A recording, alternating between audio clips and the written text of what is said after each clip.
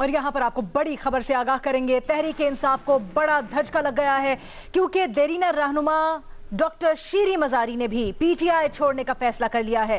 शीरी मजारी कुछ देर में news conference करके बाजाबता इस बात का ऐलान भी करेंगी। इस बारे में मजीद तफसीत जानते हैं अयाज अकबर यूसुफजई से। अयाज।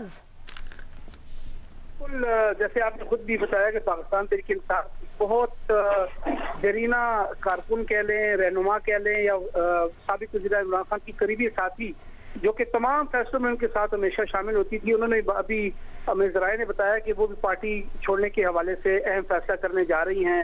और इससे पहले उनकी जो बेटी ईमान मजारी हैं, उन्होंने भी अपने ग्रीवेंसेज या अपने खदशात जो है, वो पाकिस्तान तरीके इंसाफ की लीडरशिप के हवाले से अपने मुख्तलिफ़ ट्वीट्स के ज़रिए और मुख्तलिफ़ मीडिया टॉक्स में वो कह चुकी हैं कि इस मुश्किल वक्त में जो है उन्होंने जो उस तरीके का किरदार अदा नहीं किया जैसे उनको अदा करना चाहिए था।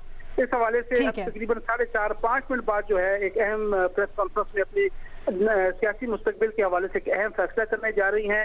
जराए ने भी बताया कि हो कभी इम्कान है कि वो आज पाकिस्तान तरीके इंसाफ को खैर बात कहते हैं। और इस हवाले से अगर आपको जैसे मालूम ही है कि वो तीन तीन से चार मरतबा गिरफ़्तार हो चुकी हैं। तीन चार मरतबा गिरफ़्तार अच्छा मजीद भी किसी बड़े रहनुमा की आ, की लातालुकी का ऐलान मुतव है क्या? के हवाले से तो ये ये सबसे बड़ी खबर है और आपको जैसे मालूम है इसके हवाले से हमारे पास बाकी भी इतलात है लेकिन उस हवाले से अभी तक हाल अयाज अकबर यूसुफ हम खबर से हमें आगाह कर रहे हैं। डॉक्टर शीरी मजारी ने पीटीआई छोड़ने का फैसला कर लिया है।